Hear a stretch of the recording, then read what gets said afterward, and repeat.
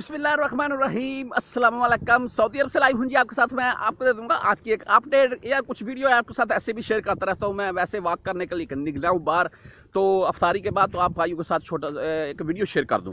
اچھا ایک بھائی نے مجھے کمنٹ کیا ہے۔ آپ بھائی اکثر اس کے متعلق مجھے یوٹیوب پر کمنٹ کرتے ہیں یعنی کہ میری ویڈیوز کے نیچے گاڑی آ رہی ہے یار سوری تو اکثر، ایک بھائی نے مجھے واٹس ایپ پر کمنٹ کیا ہے کہ بھائی تینواں کا اقامہ تجدید ہونا شروع ہو گیا ہے کہ نہیں ہو گیا ہے؟ عرفان یار، پوچھنا یہ ہے کہ میرا اقامہ ختم ہو رہا ہے چھ جون نو۔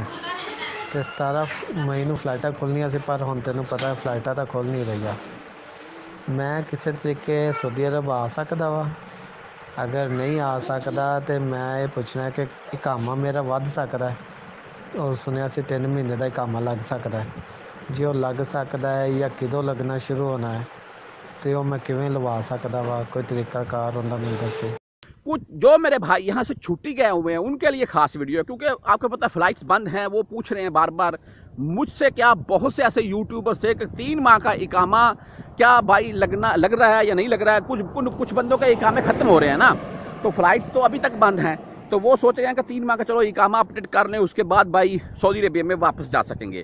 تو ان کے لیے یہ ہے جی بھائی، تین ماہ کا اکامہ سعودی عربیہ نے متعارف کروا دیا تھا آج سے چند ماہ پہلے ہی۔